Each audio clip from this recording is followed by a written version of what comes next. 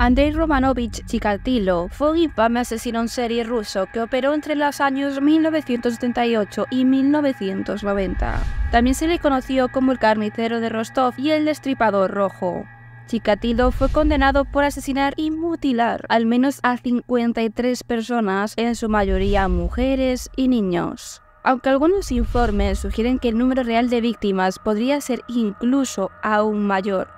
Bienvenidos, soy Diseccionando Mentes del Mal, un canal dedicado a temas un tanto delicados y no del lado de cualquiera. Antes de seguir tenéis toda la biografía empleada para hacer este vídeo en la descripción y te aconsejamos ver los vídeos anteriores que hemos realizado para apoyar a este canal a seguir creciendo. Además es importante señalar que el vídeo de hoy contiene relatos bastante impactantes, por lo tanto se recomienda precaución al visualizarlo.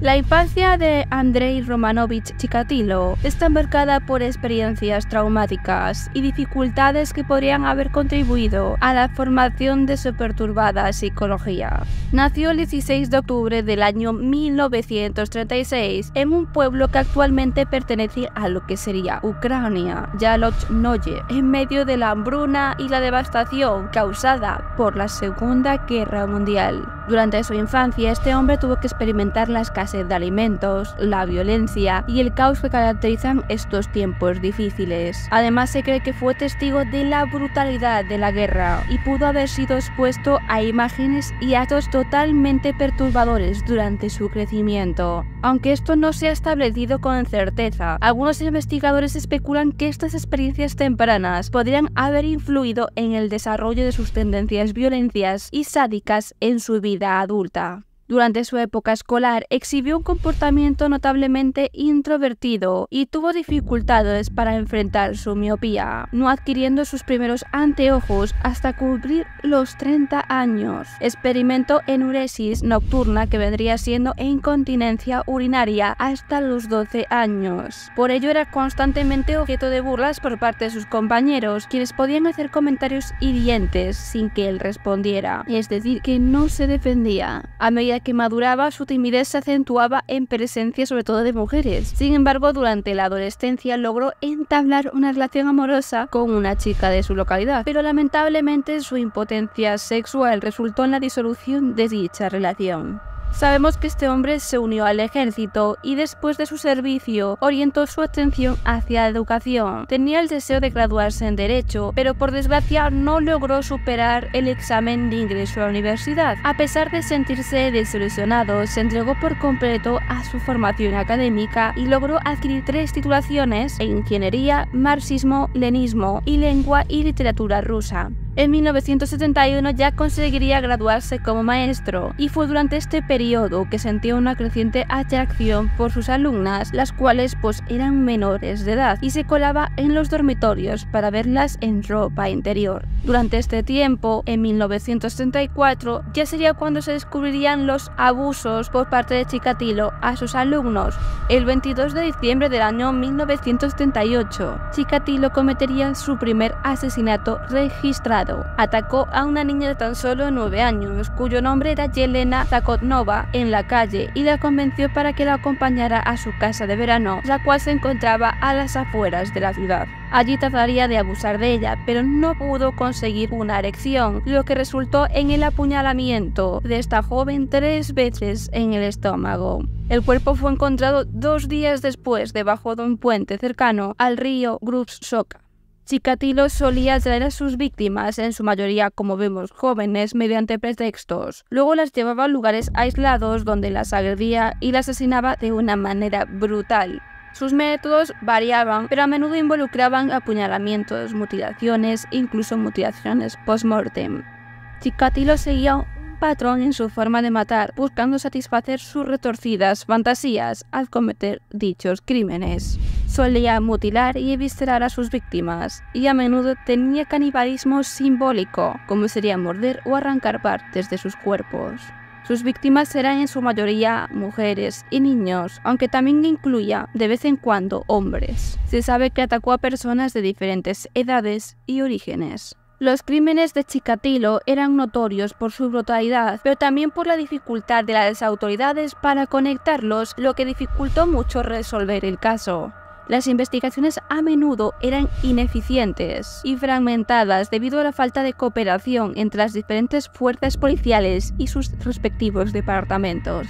En 1981 obtuvo un cargo como empleado en el área de abastecimiento de una fábrica. Su trabajo le requería viajar constantemente por la región, lo cual le brindó una fachada ideal para ocultar sus actividades. Pasarían tres años hasta que Chikatilo llevaría a cabo su segundo crimen. El 3 de septiembre del año 81 asaltó a su segunda víctima, llamada Larisa Tachenko, una prostituta de 17 años logró persuadirla para que lo acompañara al bosque con la intención de tener relaciones, pero sus esfuerzos fracasaron. Ante esta situación, al parecer ella soltó una risa, lo cual desató totalmente su ira y acabó estrangulando a la mujer. Chikatilo seleccionó a su tercera víctima, Iluba Birju, a quien secuestró de un pueblo cercano. Luego en el bosque la apuñaló un total de 40 veces. Como patrón en sus crímenes, mutiló sus ojos, una característica que lamentablemente se repetiría en sus futuros asesinatos. Durante ese mismo año, Chikatilo perpetró otros tres asesinatos, incluyendo a su primera víctima masculina, cuyo nombre es Oleg Potikabe, de tan solo nueve años. Aunque el cuerpo no fue hallado, Chikatilo admitió haber sido el responsable, afirmando que le había mutilado. Su patrón de operación permanecía constante. Elegía bosques como escenario de los crímenes, donde cometía sus actos de violencia. En ocasiones las víctimas eran encontradas con miembros faltantes. Entre ellos muchos eran adolescentes que habían huido de sus hogares, siendo vulnerables y propensos a ser persuadidos.